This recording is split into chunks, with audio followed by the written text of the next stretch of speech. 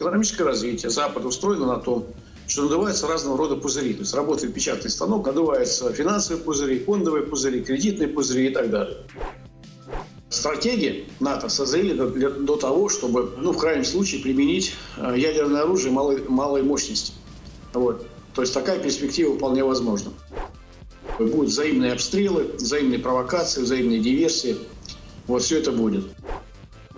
Ли Страст – это человек, который э, без сомнения нажмет красную кнопку, если это понадобится.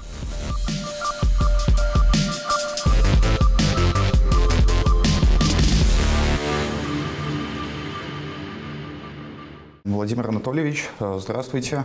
Спасибо, что выделили время для нашей беседы, для того, чтобы обсудить некоторые недавние и, наверное, более глобальные вопросы. Но начнем, наверное, все-таки с недавних, а если конкретно, то с избрания Ли Страс новым премьер-министром Великобритании. Так э, вот, вопрос в чем? Как вы считаете, изменятся ли отношения России и Великобритании с избранием нового премьер-министра? И если изменятся, то в какую сторону? в негативную или все-таки в положительную? Я вообще не считаю смену премьер-министра Великобритании какой-то новостью. Ну, сегодня один э, не очень далекий политик, завтра другой не очень далекий политик. Нужно понимать, как устроена британская политика. Э, есть британские элиты, есть спецслужбы э, британские, значит, которые, естественно, представляют собой реальную власть, принимают решения. А тот, э, кто является королем, например, да, или королевой Британии, тем более, кто является премьер-министром, в принципе, никакого значения не имеет. Это значение может иметь, если э, на этот пост э, назначается, избирается реальная личность, которая обладает концептуальным уровнем, как Черчилль, например, или как Маргарет Тэтчер, да, вот. А череда последних, начиная с Тони Блэра, и до сегодняшнего дня. Но это видно, что люди на самом деле аватары, то есть задача которых нажимать кнопки определенные. Вот, допустим, Лист Раст – это человек, который э, без сомнения нажмет красную кнопку, если это понадобится. Но команду будет ей давать со стороны, вот, она, конечно, может выкобениваться из себя там что-то корчить, но все прекрасно понимают, кто она такая. Скорее э, интерес представляет э, Карл III, принц Чарльз, который стал главой. Почему? Потому что он сменил Э, королеву Елизавету II, которая, в принципе, была личностью, очень много негативного сделала для Британии, для мира, ну и, в общем-то, не терпела каких-то возражений, а влезала во всякие детали подчас, да, в том числе в кадровые вопросы. Но Карл III более корпоративный, э, более мягкотелый, концептуальным видением не обладает. В принципе, это чистейший воды аватар, но а это означает, что ну, как бы его появление э, на троне британском, что э, усилилась некая одна из двух групп элит, которые будет разыгрывать. Вот, а мы знаем, что э, как бы британские элиты последние годы тяготили к сотрудничеству с Демократической партией США, в том числе и консерваторы, да, вот. И, в принципе, давно было ожидаемо, чтобы в Британии усилились, собственно, Тори, которые бы проводили свою национально-ориентированную политику и ориентировались на республиканскую партию США, в этом смысле можем предполагать, что, наверное, республиканская линия консервативная в Британии чуть-чуть усилилась. Появились там дополнительные возможности для проведения своей собственной э, пронациональной политики. Вот. Ну и как раз э, то, что э, вместо королевы Великобритании появился король такой квелый, в принципе, и который, я думаю, будет продвигать интересы теневого кабинета министров. Вот это будет означать, что, ну, по крайней мере для нас, может быть, некоторые позитивные моменты. Вот, поскольку э, в такой ситуации вполне возможно, что э, британские элиты пронациональные как-то прислушаются голос, голосу Ватикана и королевских домов Европы, да, в том числе к черной аристократии, имеется в виду итальянцам, немцам и так далее, которым не очень-то выгодно скажем так, превращение того военного конфликта, который мы имеем на Украине, да, в глобальную войну, после которой непонятно, что от Европы останется. Вот, поэтому, с одной стороны, как бы мы видим плюсы э, в смене руководства и премьер-министра, и э, как бы главы короны, да? а с другой стороны, э, собственно, британские элиты не собираются отказываться от генерального направления во внешней политике, а именно переподчинение себе России. Э, я так вижу, что э, Россия рассматривается британским истеблишментом как новая колония, я бы назвал это нетоколонией, потому что управление будет происходить не так, как в свое время происходило управление, например, Индии, жемчужиной в короне Британской империи. Да? Россия станет негласной, э, как они полагают, может стать э, новой жемчужиной в короне Британской империи. Но управляться будет через ниточки информационные прежде всего, а, а, теневые, такие, э, через групповые интересы, через двойное гражданство, ну и так далее, и так далее. Через самое главное проведение в России линии на избрание монарха Российской Федерации, который, естественно, если, монарх будет избран, он так или иначе в системе королевских домов будет под Винзорами.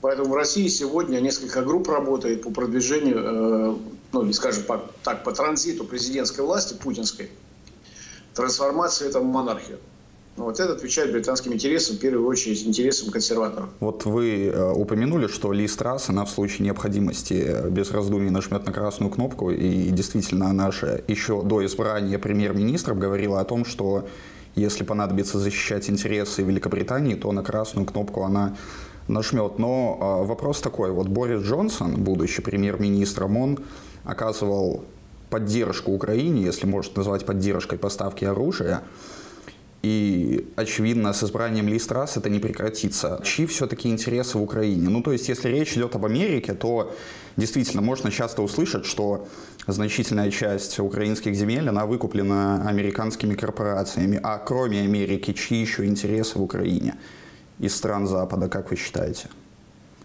Ну, в принципе, вся западная экономика, она ищет те государства, за счет которых, э, ну, скажем, э, Запад может пролонгировать свое экономическое развитие. Потому что экономическое развитие Запада устроено на том, что надуваются разного рода пузыри. То есть работает печатный станок, надуваются финансовые пузыри, фондовые пузыри, кредитные пузыри и так далее.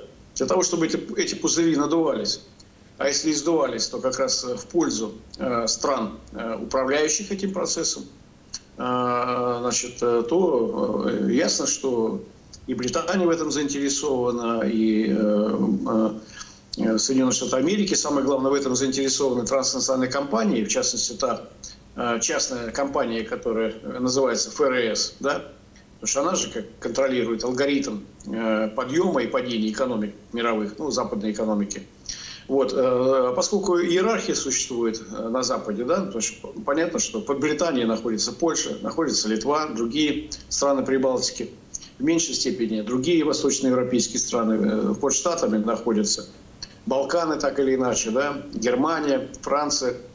Вот, поэтому э, э, все вот эти 30 с лишним стран европейских, да, западных, которые поддерживают Украину, они, в общем-то, заинтересованы в том, чтобы э, достаточно крупные страны, а прежде всего Украина и Россия, э, которые, э, ну, скажем, ресурсы которых будут использованы для следующего витка экономического развития потому что и Украина э, э, становится э, как бы должником да, мировой финансовой системы, западной финансовой системы. Значит, ну и Россия, как мы видим, да, Центробанк полностью реализует э, концепцию экономического развития России так, что Россия на самом деле питает и ресурсами, э, и деньгами, и всем остальным, и кадрами весь западный мир. Вот, поэтому, ну, как сказать, э, в принципе, переход западной экономики к новому мирохозяйственному укладу невозможен без создания новых колоний. Арабский мир превратить в колонии не получается, потому что от Ирака, от Ливии ничего не имеют. Э, и Сирию нагнуть не смогли, Иран э, нагибать не могут. Да? Египет проводит суверенную политику. То есть, в принципе, некого нагнуть. Саудовская Аравия там, и так далее свою политику проводит соответственно, Австралия и Канада, которые являются членами британского содружества, их э, Британия эксплуатировать уже не может. Да, они в самостоятельном режиме работают, тяготеют к, к американцам. Вот, э, да, вы упомянули о том, что действительно слишком часто в последнее время ведутся разговоры о том, что доллар вот-вот рухнет, и буквально на днях э, Владимир Путин, он сделал заявление о том, что происходит э, неизбежный процесс дедоларизации вообще в принципе. Насколько эта перспектива отказа от доллара, она реальна? Доллар меняется, он, э, его как бы статус будет меняться. Э, и, скажем, основные игроки финансовые, олигархические, мировые, да, ну, западные, они совершенствуют систему, появляется блокчейн, да, идет уход в цифру, в цифровую валюту. Понятно, что британцы настаивают на том, чтобы усилить э, фунт стерлингов, укрепить его. А понятно, что идет э, борьба за э, там, в Европе. Хочется сохранить э, э, евро, но в то же время э, есть потуги возродить марку германскую. Опять же, очень часто говорят о том, что конфликт в Украине, он является, как это называют, межцивилизационным.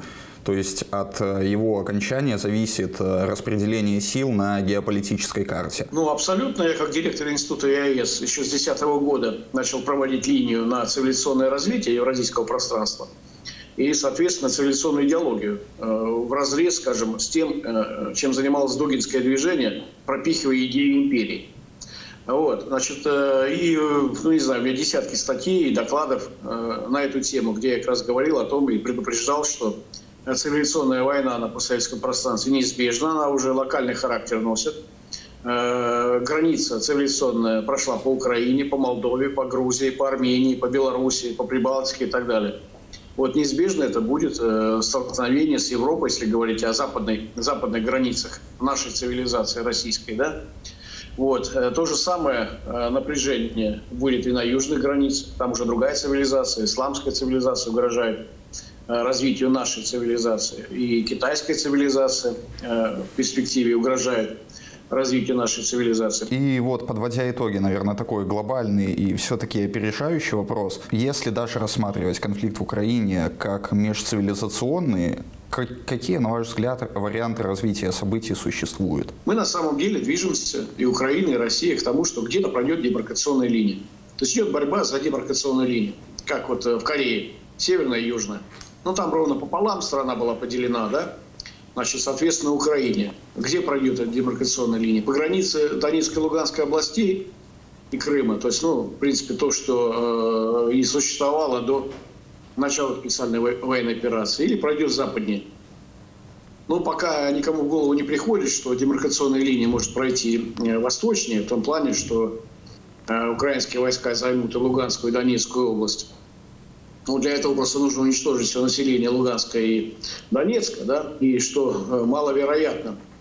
Э, ну, для этого нужно, чтобы НАТО настолько плотно включилось в этот процесс, да, э, и, хотя ничего исключать нельзя, потому что западные аналитики говорят о том, что, в принципе, стратегии НАТО созрели до того, чтобы даже в случае, ну, в крайнем случае, применить ядерное оружие малой, малой мощности. Вот. То есть такая перспектива вполне возможна. Вот поэтому я не исключаю, что вот это противостояние э, России и Украины в этой стране может вылиться, э, ну, я не знаю, в самую масштабную войну последних 50 лет. Или, ну, с учетом, или, скажем, после Второй мировой, мировой войны, самая масштабная, самая кровавая э, война, потому что ни та, ни другая страна не собирается сдаваться, Украина не собирается, Россия не может позволить себе, там, я не знаю, остановить наступление, раз уже началось.